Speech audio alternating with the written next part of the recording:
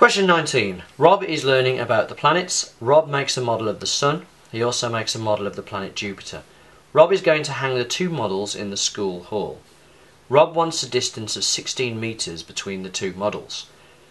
The real distance between the planet Jupiter and the Sun is 8 times 10 to the power of 8 kilometres. So that's standard form there.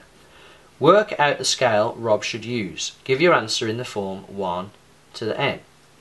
So, what do we know at the moment? We know at the moment he's going to have a distance of 16 metres. And that is to 8 times 10 to the power of 8 kilometres. Okay, so make sure you remember there's different units. Metres here, kilometres there. So, not taking units into account, that would mean 16 to 8 times 10 to the power of 8 times by a thousand because uh, that was in kilometres, that was in metres. To turn kilometres into metres you need to times by a thousand. So now we don't have to use units, we can just say the, the ratio is 16 to 8 times 10 to the power of 8 times a thousand.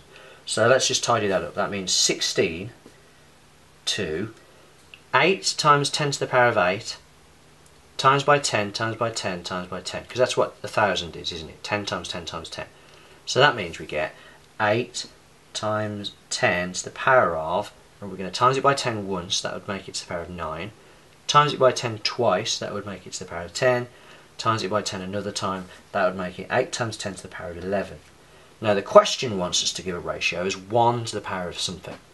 So to give that as a 1 we need to divide by 16 so 8 times 10 to the power of 11 divide by 16. So we're going to do 8, there's that button times 10 to the power of x, so times 10 to the power of 11. Oh, that's, is that going to work? Oh yeah, there we go. 8 times 10 to the power of 11. We're going to divide that by 16, which is 5 times 10 to the power of 10.